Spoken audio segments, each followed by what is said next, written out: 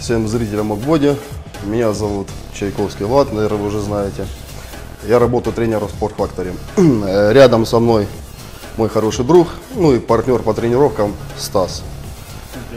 Э, Сегодня мы вам покажем и расскажем о сушке, как мы сушимся. Э, Начнем с тренировок. Подготовка именно на сушку до турниров начинается за два месяца начинается сушка. Что такое сушка? Это максимальное удаление жира, жира с-под кожи. Без потери. Э, Да, э, без потери мышечной массы. У нас идет 4 тренировки в неделю силовые и 3-4 тренировки это кардио э, тренировки. В неделю получается э, 6-7 тренировок. День э, силовая, день кардио, пресс. День силовая, день кардио, пресс. Э, В основном, к примеру, такой комплекс. Понедельник у нас идет э, грудь, Э, вторник у нас идет кардио, пресс, с, э, среда у нас идет э, спина, э, э, четверг кардио, пресс, так же само, и э, пятница Плечи. плечи, трицепс, суббота ноги, и понедельник мы еще руки качаем бицепс. Ну и воскресенье, да, тоже э, это позирование и кардио. Такая. На каждую группу у нас идет 3-4 упражнения. Э, Когда начинается подготовка, э, соответственно, конечно, веса урезаются, немножко урезается процентов на 30-40 и добавляем более количество. Работаем количество, ме- уменьшаем отдых и делаем дроп-сеты, суперсеты, 2 сета, 3 сета. Мо- Одну ремарку про снижение весов. То есть веса снижаются на тренировке, на сушке не только потому, что нет сил, и вы не можете больше поднять, и у вас просто падает вес, и вы делаете точно так же трудно, там те же самые 6-7 повторений, но уже с меньшим весом. Нет, веса снижаются для того, чтобы снизить травмоопасность, для того, чтобы мышцы налить больше кровью, чтобы сделать больше повторений.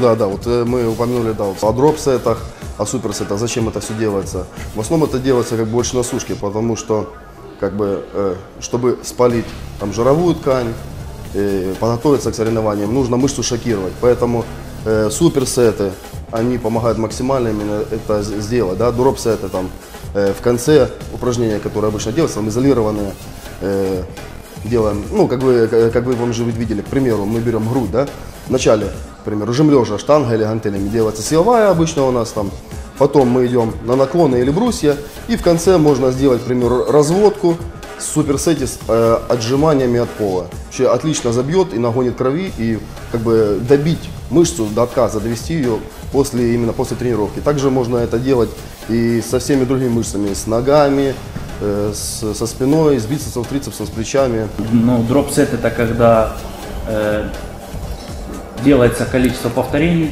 снижается вес, делается еще одно количество повторений, опять снижается вес и делается до отказа еще какое-то количество повторений. То есть именно вы- выводится полностью на отказ. То есть, допустим, 10 повторений с одним весом, потом уменьшается вес, еще 10 повторений, и потом еще раз уменьшается.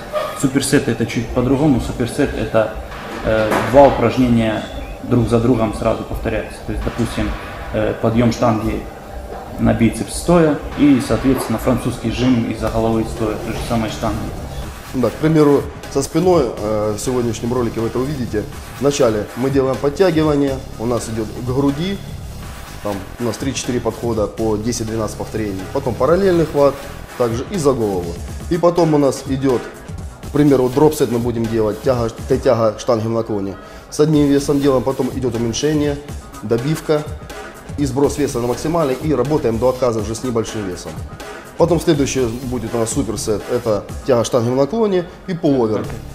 Э, тя- тя- Тяга гантели, да, мы будем делать в наклоне и пуловер. Так же самое, берется такой э, вес э, 30-40% от, от вашего обычного рабочего в межсезонье, когда вы работаете. Выполняете в наклоне, к примеру, от 10 до 15 повторений одной, второй рукой. Потом сразу э, ложится э, гантеля и идется э, выполнять сразу пуловер на блоке с прямой рукояткой. Тоже от 15 до 20 повторений. Ну и, соответственно, э, должно быть обязательно правильное специальное белковое питание. Ну, Стас расскажет о питании. Ну, я расскажу о диете, более которой придерживаюсь я. Более-менее стандартная, конечно, убираются сразу все вредные там, быстрые углеводы, жиры. Остаются сначала чуть-чуть растительных жиров, для того, чтобы калорийность поддерживать, чтобы силы были на тренировках. Ну, питание не меньше 6 раз в день, плюс, э, соответственно, белковые коктейли, промежутки, аминокислоты, БЦА на тренировках. То есть, э, ну, протеин, изолят, соответственно, никаких там комплексных протеинов нет. Сначала, в принципе, углеводов много. Э, Первые там полтора-два месяца, да, мы держали примерно углеводов в районе 450 грамм. Это я в основном ел рис. Это получается где-то около килограмма риса э, в день. Ну, там 800 грамм сырого риса в сутки. То есть делится равномерно порциями. Примерно это до 6 часов углеводы ем я с белком. После 6 часов уже остается один белок. Ну и, как я говорил, промежутки, там, аминокислоты там чуть-чуть, ПЦА, такое. Потом постепенно, ну смотришь в зеркало, интуитивно понимаешь, что если уже прекратилось жиросжигание, начинаешь потихоньку урезать углеводы, но не так сразу, там половину оп, подбросили и не едим. То есть постепенно там поделим приемы там на пополам, и точно так же количество приемов пищи оставляем то же самое, но углеводов чуть-чуть меньше. Ну и так постепенно вышли мы в итоге вот последние две недели перед соревнованиями. У меня углеводов практически не осталось, только на завтрак. Ну и вот неделю планируем полностью без углеводов.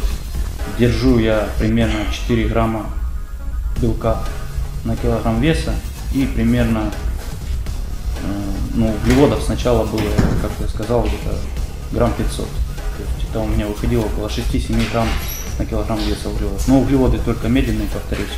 Никаких там булочек и всего прочего, там, сгущенки. Хочу уточнить обязательно белок. При белковой диете мышцам нужен белок. Если у вас не будет хватать белка в рационе, то вы при интенсивной тренировке будете терять мышечную массу. То, что э, ну, для культуриста это очень как, плачевный результат получится. Э, жир будет оставаться, а мышечная масса будет уходить. Организм в первую очередь на сушке ест мышцы, а потом уже жир. Поэтому белка должно обязательно хватать. Где-то в районе от 2,5 до 4 грамм белка э, грамм на килограмм веса должно идти в сутки. Еще такой момент, очень многие люди говорят, что вот я ничего не ем, я буду ничего не есть, заниматься и буду худеть. Да, вы будете худеть, но чем вы будете худеть?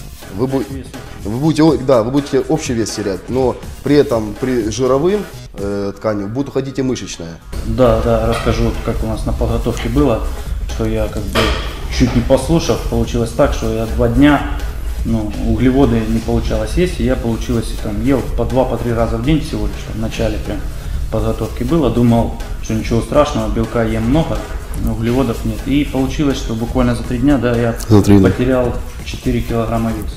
То есть посыпался очень быстро. Ну, хорошо, тренер есть. Мы посоветовались, решили, добавили углеводов. Я вернул этот вес, но уже без жировой получается.